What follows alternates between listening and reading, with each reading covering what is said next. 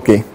Now, uh, one very simple application and a very useful application also yeah, uh, of this uh, compactness theorem is the upward Löwenheim Skolem theorem.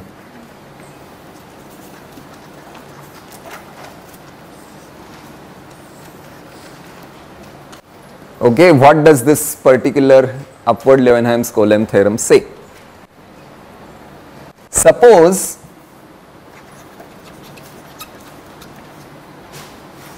L is a predicate language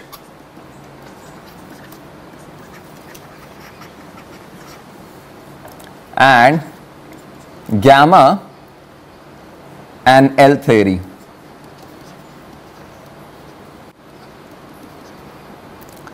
With an infinite model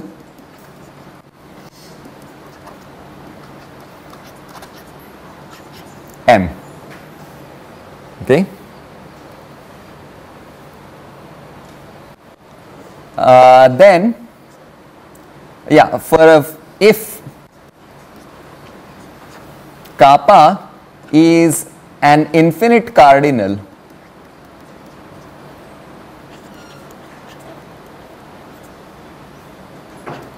bigger equal the size of L, then M has, uh, sorry, then gamma has a model N with size kappa.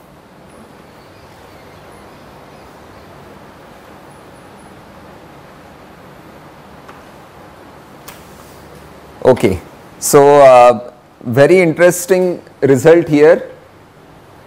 Okay, but now let us talk for a bit. So once we have let's say a dense linear order without endpoints.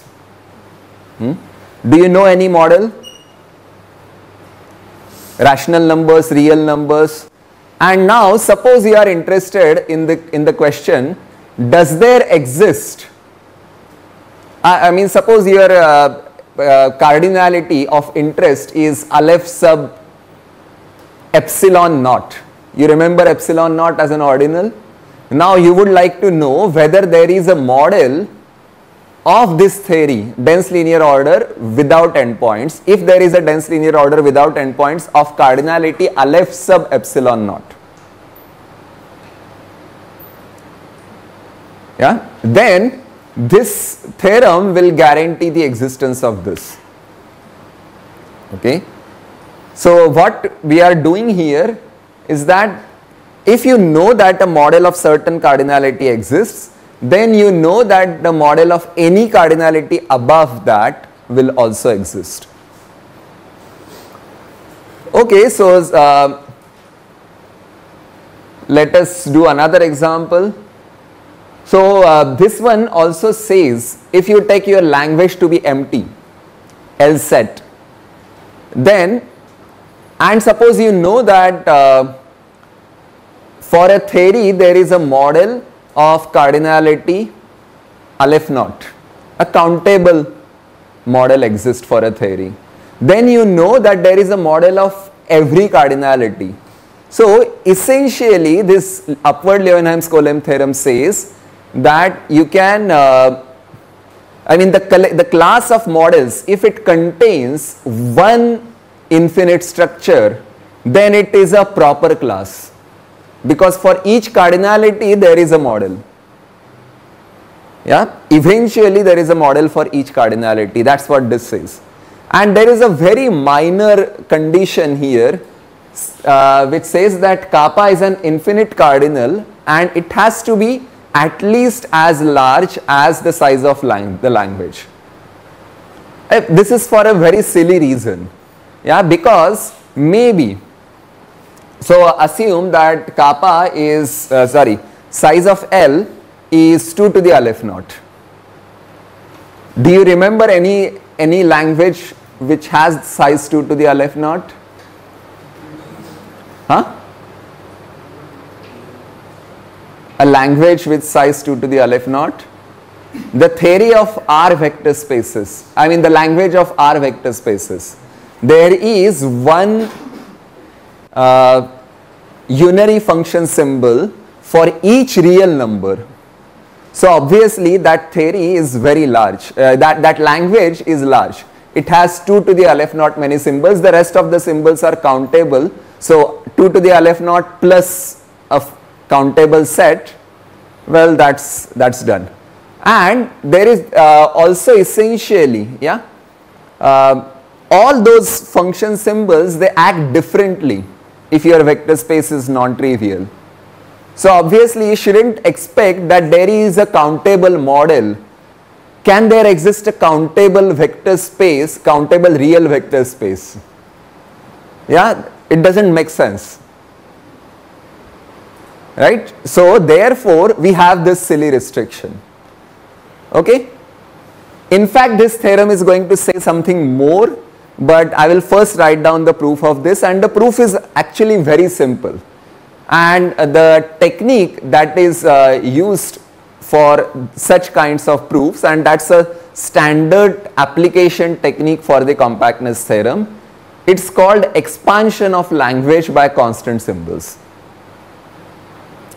So the idea, yeah I mean before we actually write down the proof, the idea is very simple that you add you want a structure with size kappa okay? You add one constant symbol one new constant symbol for every ordinal less than kappa. So how many ordinal how many new constant symbols are you adding? Kappa many. And then you put more sentences in your theory you already have gamma and then you say whenever alpha and beta are distinct cardinals less than kappa, then C alpha and C beta are distinct. Their interpretations are different. This is our expansion of the theory. Once you have that, then you use the compactness theorem to show that it is finitely satisfiable, which we can do thanks to existence of an infinite model M and then we are done. So we have a model of this entire theory where there are at least k kappa elements. You, you understand this? Let's do it. So, uh, okay, I mean perhaps, uh, yeah, I, I remember this from a previous time perhaps I, I should say that with size of n at least kappa hmm? because the proof will not exactly guarantee that it's kappa. With the combination of upward and Leuven, uh, downward Löwenheim-Skolem theorem, we will get this exactly kappa. Okay, so consider uh, the expansion L bar of L where we add one constant symbol. Well I, I, should say one new constant symbol yeah? So you just make sure that it is a different name of the constant symbol C alpha for each alpha less than kappa. So here I would like you to recall some set theory, some cardinals. Kappa is a cardinal number. So it is an initial ordinal. So it's an ordinal in particular. It's a limit ordinal and it's an initial limit or uh, limit ordinal. So kappa kappa less like alpha less than kappa is simply alpha belongs to kappa all the elements. And how many elements are there in kappa? Kappa many. Okay so i have added one new constant symbol. Yes for each ordinal alpha. And uh, set gamma bar to be an L bar theory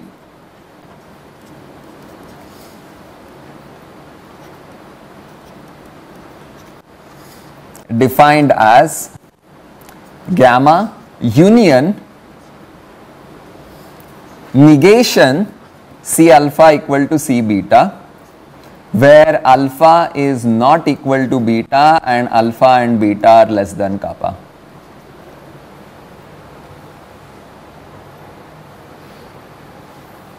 Okay, we are going to claim that gamma bar is satisfiable.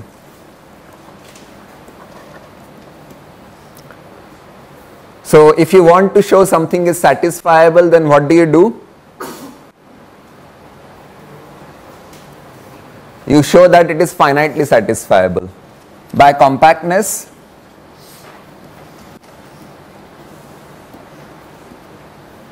it is enough to show that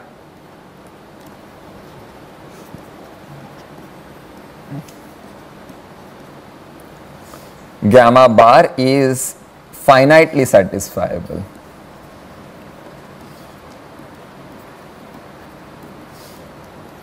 Okay, so uh, we can so let delta be a finite subset of gamma bar. Then the sentences in delta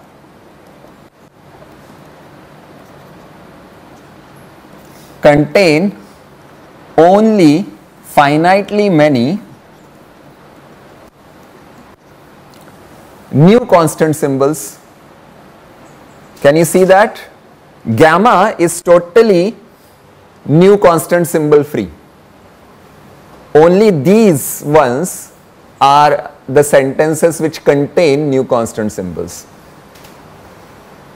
So, then the sentences in delta contain only finitely many new constant symbols.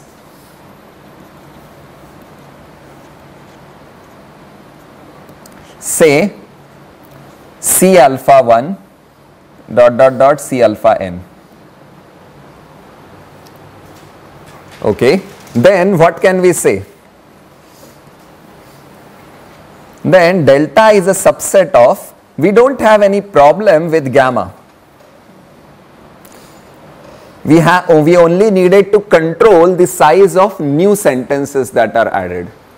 So, negation C alpha i equal to C alpha j such that 1 is less equal i less than j less equal n. Do you agree with this? And have you seen some similar proof? You remember this? Proof of Koenig's lemma? Yeah, we only, we added something new and then we want a finite subset of that. So it's a standard compactness theorem application. Okay, so uh, delta is a subset of this. Okay.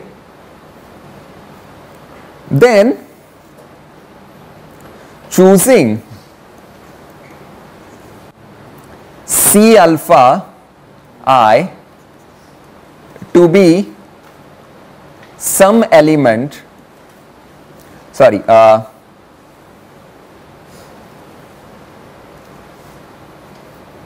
okay wait uh, let me write it more properly. So choosing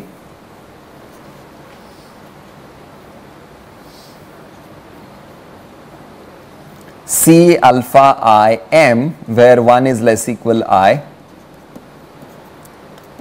to be any finite subset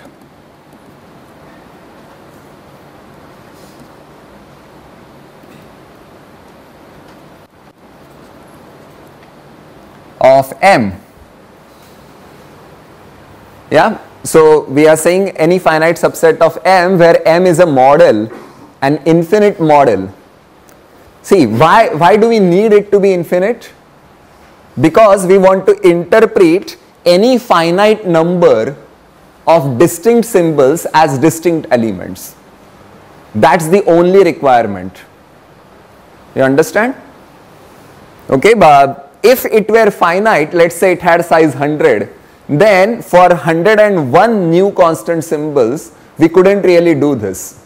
We want, yeah, be any finite subset of M of size n. Okay, so all these constant symbols which appear in delta, we are interpreting them as distinct elements. Okay, uh, we see that M satisfies gamma union this collection.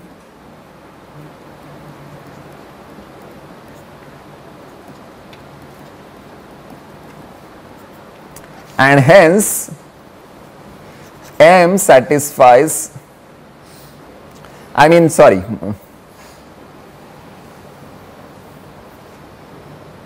M bar satisfies and hence M bar satisfies delta okay uh, okay I, I should make some changes okay? Uh, M is a model M is an L structure. And M bar is an L bar structure.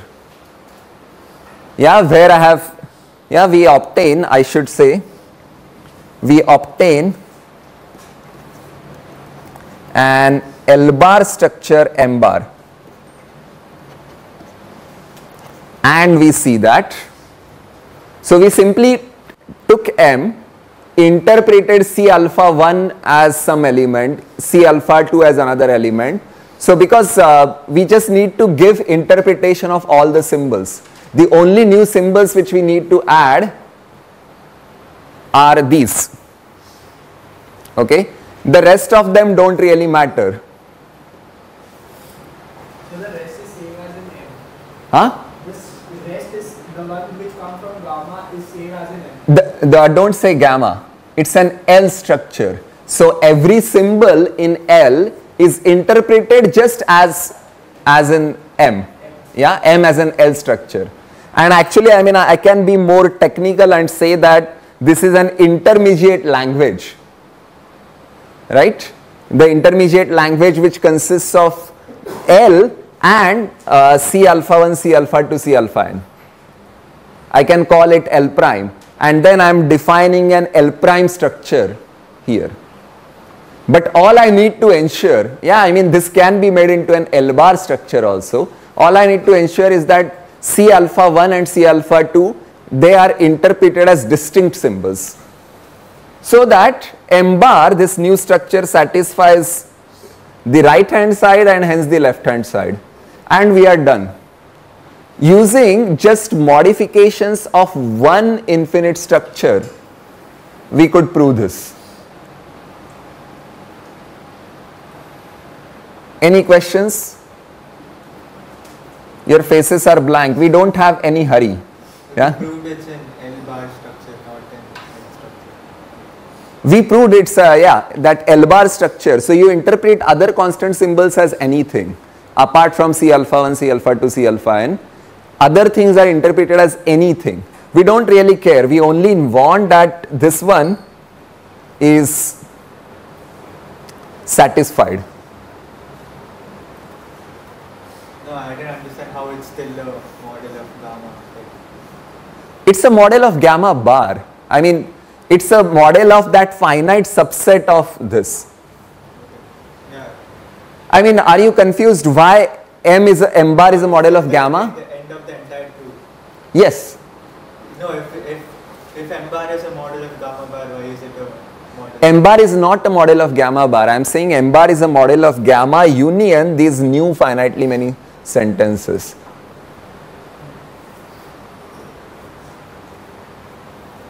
It can't be a model of gamma bar. I mean, we want to find a model of gamma bar, but for that we use compactness.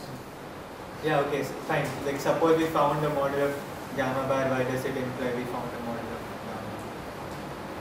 With, oh, because gamma bar is gamma union something else. No, but it's in a different language. Yes, but by reduction of language again, Yeah, I mean you forget about all the new symbols. What's the confusion here? Like because it's a different language. So therefore, okay, now uh, let me write, this is the end of the proof of the claim. So, uh, by compactness, let n, uh, so there is a model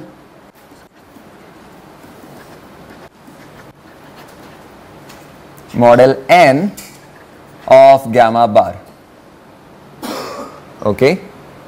So uh, let, let's say there is a model n n bar of gamma bar. Then what happens? Then thanks to yeah i mean thanks to these sentences negation c alpha equal to c beta for alpha and beta distinct and less than kappa we know that then n bar satisfies negation c alpha equal to c beta alpha not equal to beta and alpha beta in like less than kappa. Right? So therefore the universe n n bar of n bar has at least kappa elements. Kappa many ele uh, kappa elements.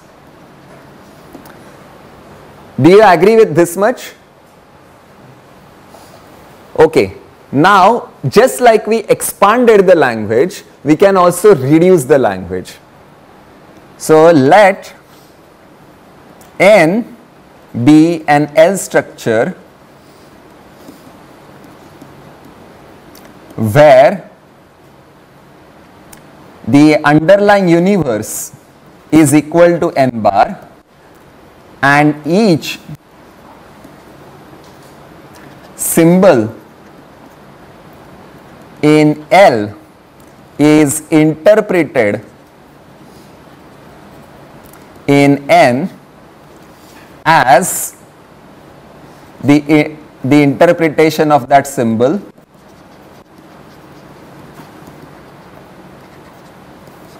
of uh, the symbol in n bar. So this is called the this is the L reduction of the L bar structure N bar. Okay, so for this, then, then what will happen?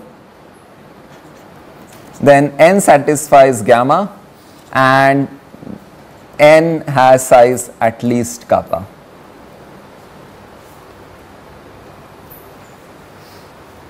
You get that? Every symbol was interpreted in exactly the same way. You simply forgot about the interpretation of the new constant symbols and you obtained N.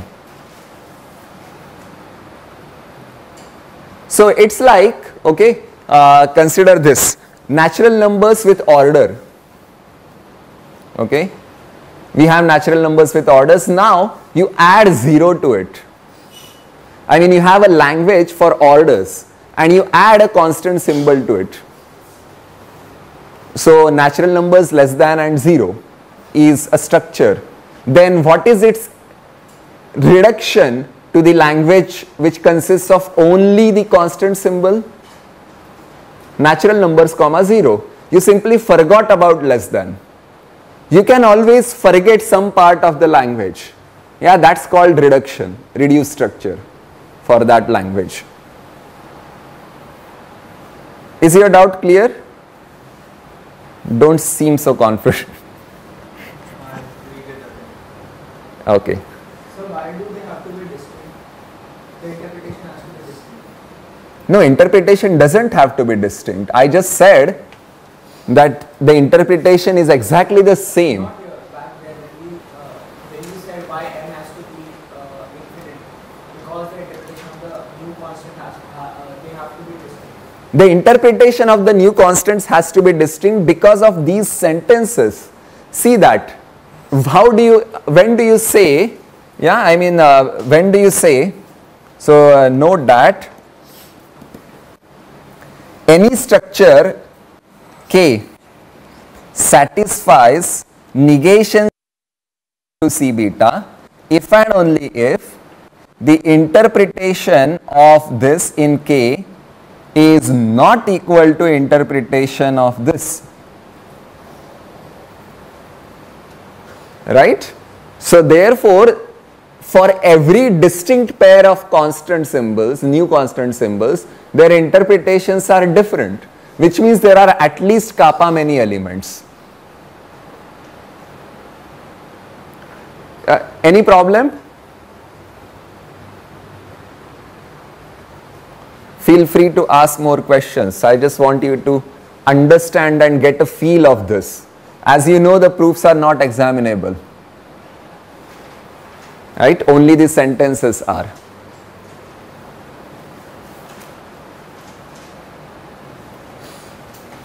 Okay?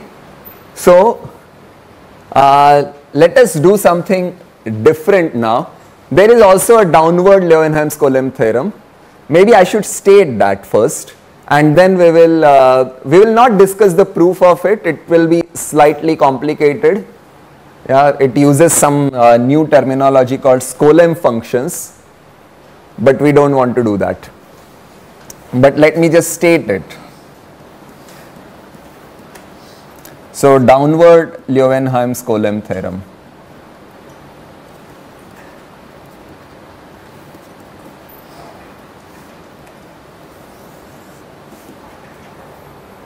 Okay. Suppose L is a predicate language.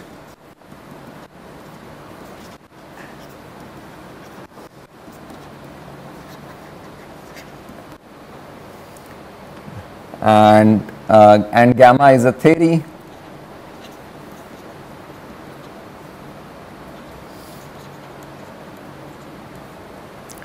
M is an infinite model.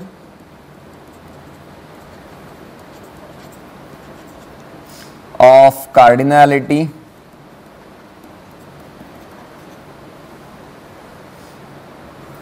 Model of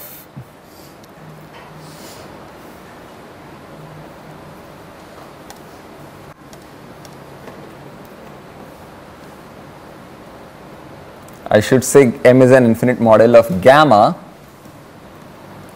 with cardinality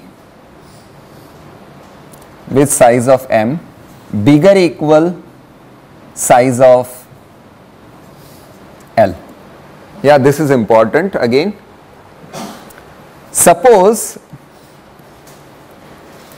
mu is an infinite cardinal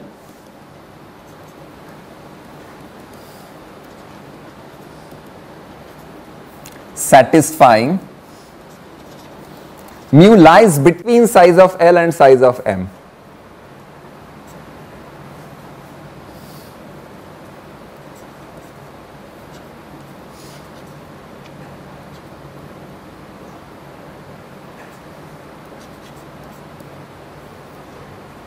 Okay, now I can see why my mu and m are the same.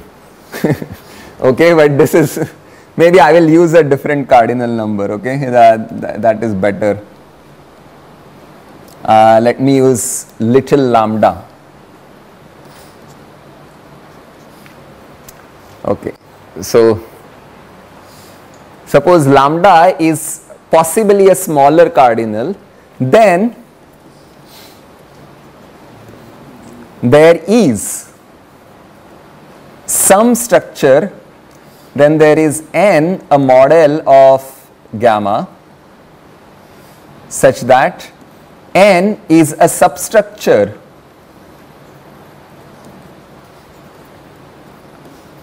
of m.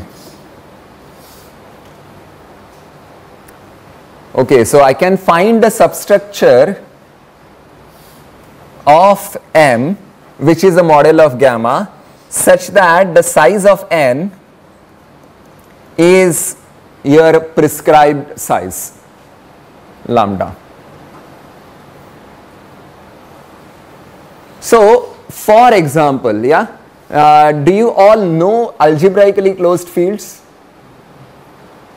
Is there anybody who doesn't know? What is a field?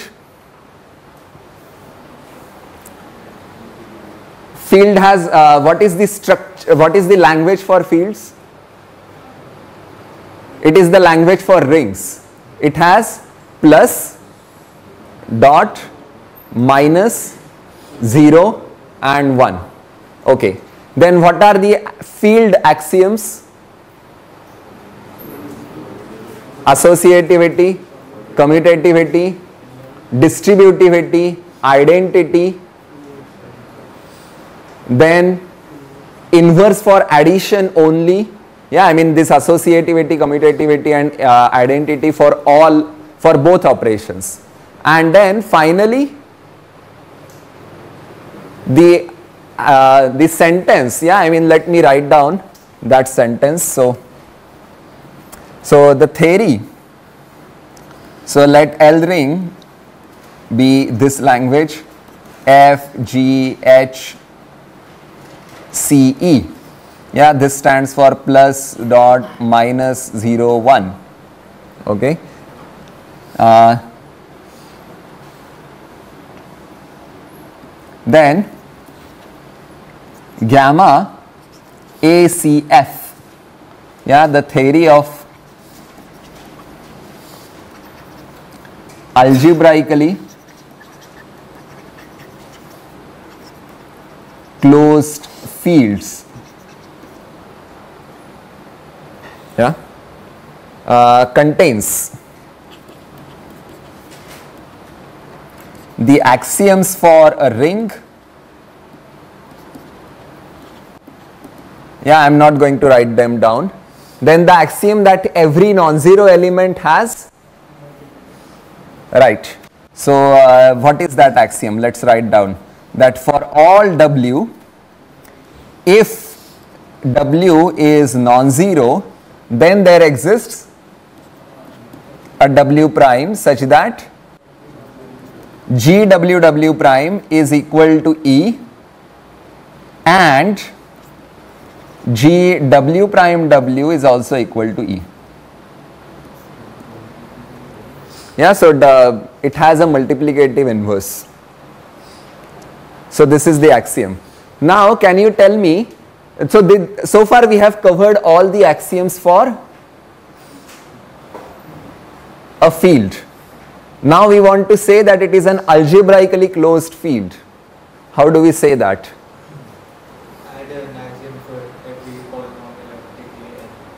add an axiom for every polynomial of degree n and where are the coefficients coming from?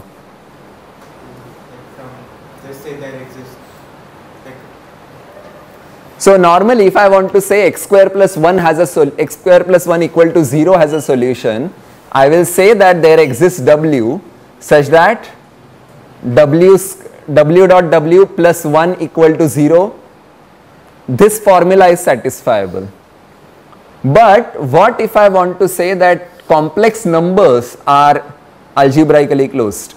Yeah, for all W1, W2 there exists. Exactly. So the coefficients, yeah, the coefficients are also coming from the field. So you can also put a universal quantifier for the coefficients. Okay. So uh, uh, and for each n bigger equal 1 add the following axiom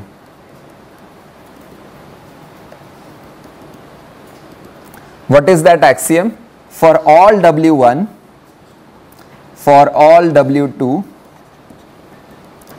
dot dot dot w uh, perhaps I should say for all w0 onwards yeah I don't want to say start at 1. For all W0, W1 dot dot dot wn and w.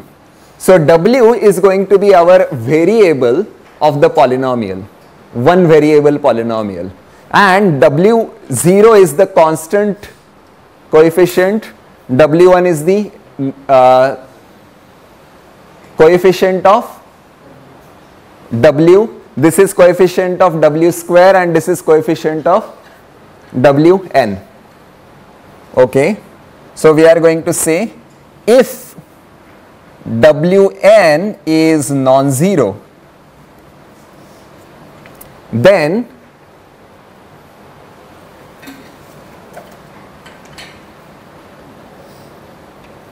just a moment. I think I shouldn't write it over here. Yes for all these coefficients if wn is non-zero then there is a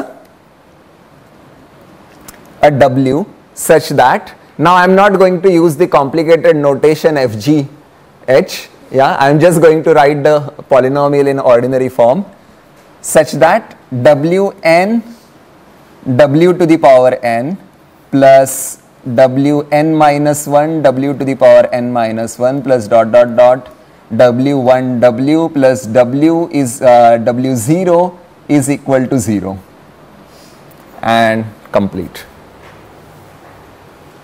So it says that every non-zero polynomial, every uh, polynomial of degree n, yeah degree n is ensured by saying wn is non-zero every polynomial of degree n has a root. You understand?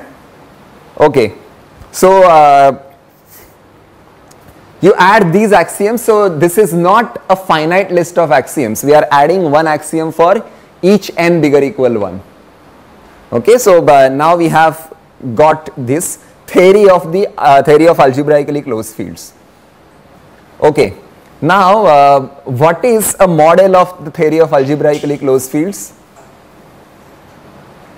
And now note that complex numbers yeah with plus dot minus 0 1 is a model of gamma ACF. Okay.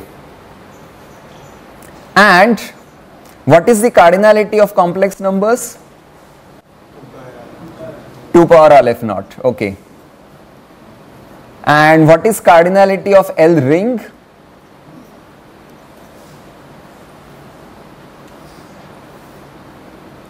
Well 5 yeah there is nothing to think about. Only 5 symbols exist there so 5 cardinality so for any infinite cardinal therefore for an infinite cardinal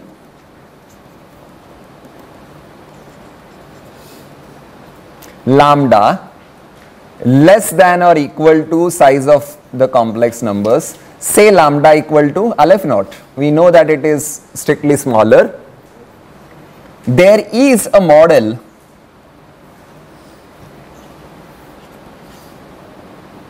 of gamma ACF with cardinality lambda Okay, so now this is a question. Do you know if there exists a countable algebraically closed field?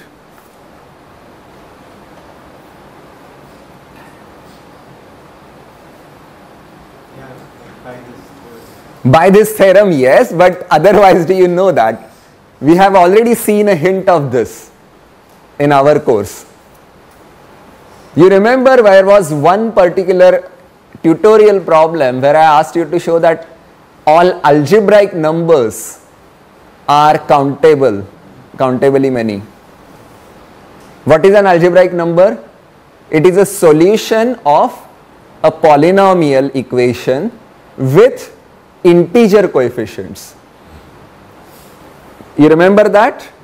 What is an integer coefficient?